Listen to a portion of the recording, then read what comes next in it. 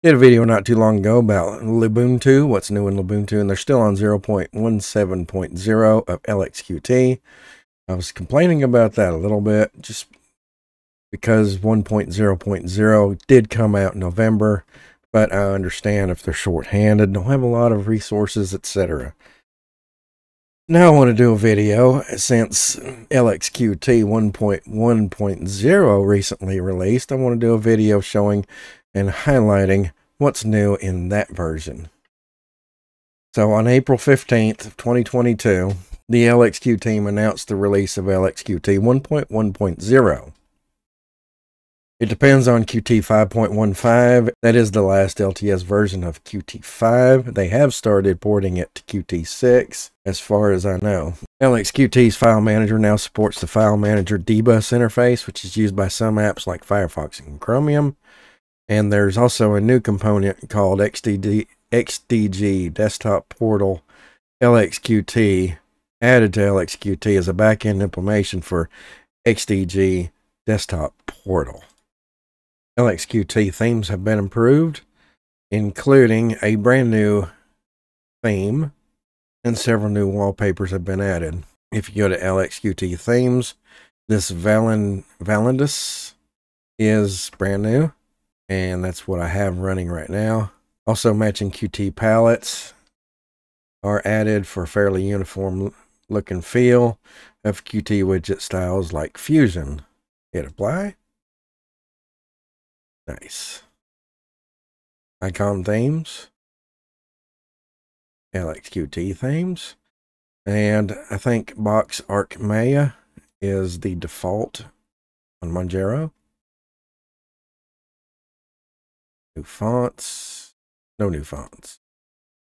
There's your cursors and GTK styles. Bookmark functionality has been improved in QTerminal. We go to System Tools, QTerminal. If you right click anywhere in there and go to Preferences, there is a bookmark ability. Not sure how it works. I'm not familiar with it. And close that out. And there's also several issues fixed in the drop down mode of QTerminal, which is that right there. You have to set that up from System Tools, drop down terminal and go to preferences. Drop down and then show on start and shortcut to bring it up.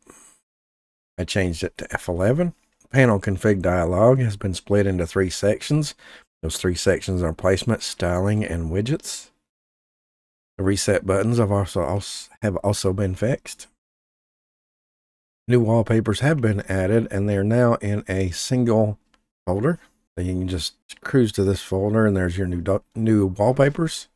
A simple option has been added to LXQT session settings for global screens global screens scaling. Here's your global screens scaling. That is hard to say. Scale factor 1.0 right now. I don't think I need to change it from my configuration but it's there and you have a reset button to reset it back to default. A separate page for GTK style settings has been added. This right here.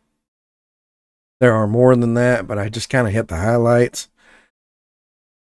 I'm really hoping that 1.1.0 starts hitting your main systems. I am doing this on Manjaro, and if you've noticed that you're not getting the 1.1.0 yet, it's because I am running on the unstable repositories and hopefully that will move on down so that everybody gets that pretty soon. But that is a quick overview of what's new in LXQT 1.1.0 I hope you like this video.